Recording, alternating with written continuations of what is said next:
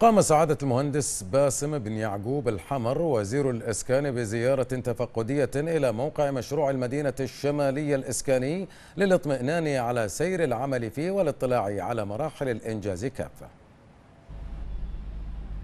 عين على الواقع الذي بات عليه مشروع المدينة الشمالية الإسكاني الذي يدخل حاليا في مرحلة الانتهاء من تنفيذ الأعمال الإنشائية لأكثر من ثلاثة آلاف وحدة سكنية تؤطرها حدودها الممتدة كأكبر مدينة من بين المدن الخمس التي تنفذها وزارة الإسكان. المدينة الشمالية طبعا تشكل بالنسبة لنا آه، تحدي كبير وعلى هالأساس إحنا قررنا في وزارة الإسكان أن نعمل في خطين متوازيين. آه، الخط الأول القيام بتنفيذ المرحلة الأولى من المدينة الشمالية بنية تحتية ووحدات سكنية.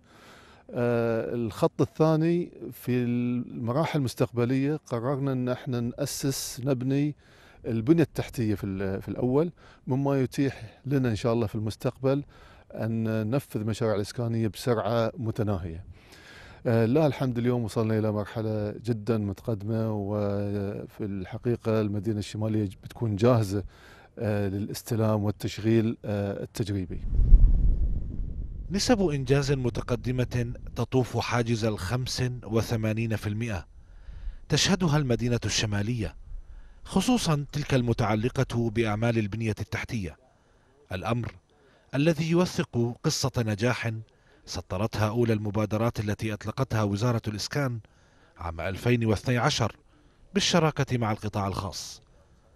هذا المشروع الإسكاني الذي وضعت وحداته ضمن نطاق جزر لم يغفل عن توفير العديد من المرافق الخدمية التابعة إليها كالخدمات الصحية والتعليمية والدينية والرياضية إلى جانب خدمات المواصلات والطرق وخدمات البنية التحتية التي ستكون مهيئة لاستخدامها من قبل ما ينوف على مئة ألف من قاطني المدينة الشمالية ككل. العام القادم 2018 إن شاء الله راح يشهد آه، تسليم تدريجي للعديد من آه، المدن. آه، على رأسها طبعا مدينة خليفة. راح إن شاء الله نسلم الدفعة الأولى من من هذه المدينة. والمدينة الشمالية أيضا راح نسلم الدفعة الأولى من من من المنطقتين.